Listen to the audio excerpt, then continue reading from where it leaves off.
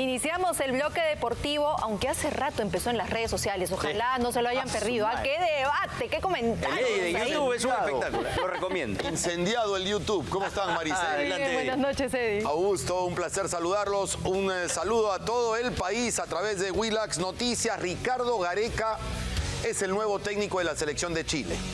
Hoy prácticamente se confirmó en todos los medios, se oficializó el día viernes.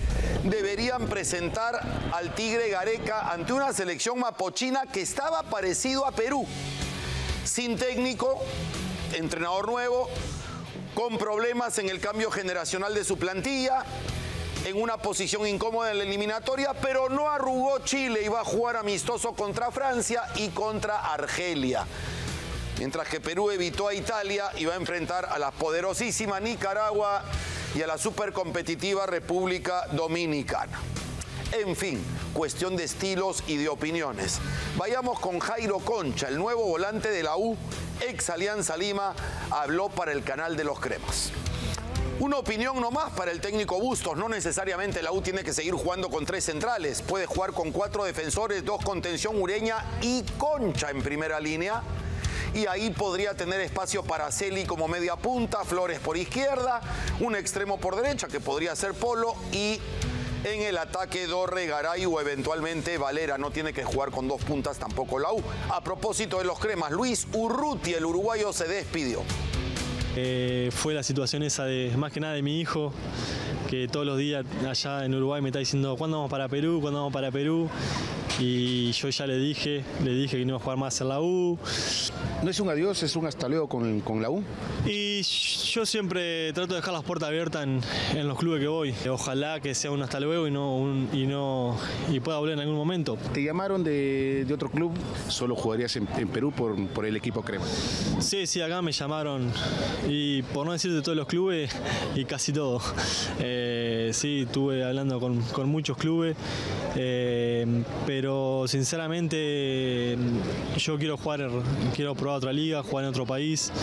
Eh, siento que, que, bueno que, que, acá ya cumplí un ciclo, eh, si no es en la U, eh, ya estaba, que dejé una huella, así que bueno, eso no es más importante. Me voy feliz porque sé y siento y me hicieron sentir de que dejé, dejé todo por este club. Gracias por la 27, obviamente, siempre te queremos por toda la vida, dale toda la vida.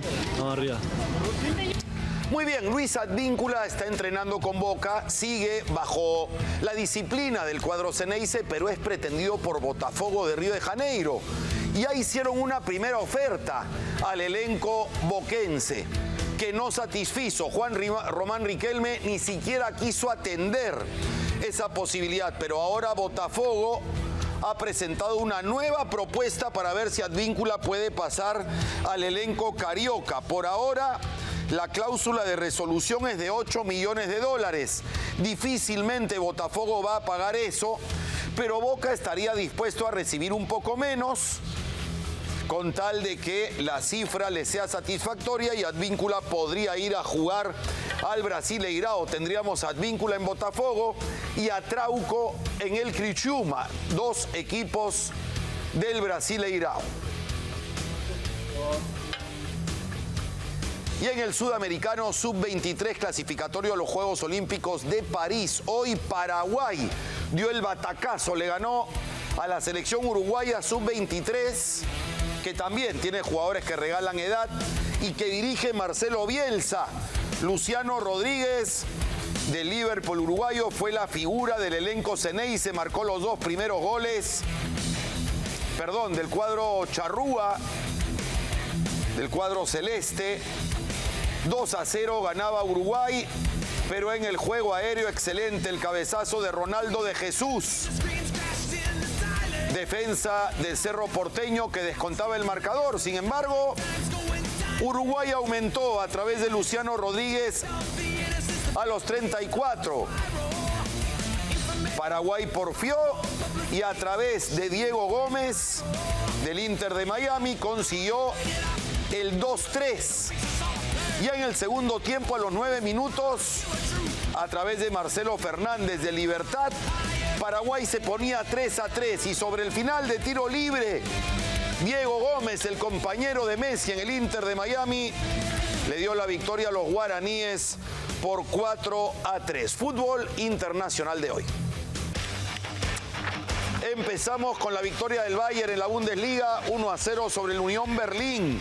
Sufrió el cuadro bávaro, pero en el inicio del segundo tiempo el portugués Rafael Guerreiro le permitió al cuadro de Múnich ponerse a cuatro puntos del líder Leverkusen. Liverpool enfrentaba al Fulham por el pase a la final de la Copa de la Liga. Luis Díaz e Isa Diop pusieron cifras al marcador 1 a 1. Por otro lado, el Barcelona quedó eliminado de la Copa del Rey. El Athletic de Bilbao jugando de local empezó ganando con gol de Guruceta, pero lo empató el polaco Lewandowski. Luego Lamin Yamal, el joven de 16 años, le daba la ventaja al Barcelona, pero lo empató a los cuatro del segundo tiempo Sanset. Con el 2 a 2 se fueron a tiempo agregado, a tiempo extra. Iñaki Williams marcaba el 3 a 2 para el Athletic de Bilbao y luego su hermano Nico Williams y el marcador final Athletic de Bilbao 4 Barcelona 2. Nos vamos al tenis abierto de Australia. Clasificó a la final el ruso Daniel Medvedev con una victoria en cinco sets muy laboriosa ante el polaco Urcax. Quedaron 2 a 2 y en el quinto y definitivo un quiebre le permitió a Daniel Medvedev quedarse con el partido parejísimo de principio a fin pero el ruso se quedó con la victoria y avanzó a la semifinal, donde enfrentará al alemán Esberev. La gran sorpresa de hoy, Esberev eliminó al español Carlitos Alcaraz. 6-1, 6-3 para el alemán, luego en tiebreak ganó el tercero el español, pero en el último y definitivo Esberev se impuso 6 a 4 semifinales, Medvedev ante Zverev y en la otra Djokovic ante el italiano Yannick Sinner. La selección peruana sub-23 perdió 2 a 0 ante Argentina. Primero el foul al argentino Barco, jugador de Boca y ha transferido a la Liga de Inglaterra, falta dentro del área. No hay discusión. Tiago Almada jugador de la Major League Soccer, anotaba el 1 a 0 para el cuadro de Javier Mascherano.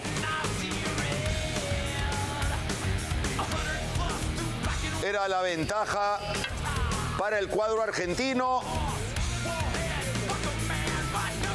Y luego llegaría en esta acción el 2 a 0. Luciano Gondú, buena combinación dentro del área del cuadro argentino. Partido liquidado. Argentina 2, Perú 0. Y con la derrota, lamentablemente, pero que nos sorprende, de Argentina sobre Perú, cerramos el bloque deportivo. Quédense con Augusto y Maricel. Gracias por hoy. Chao.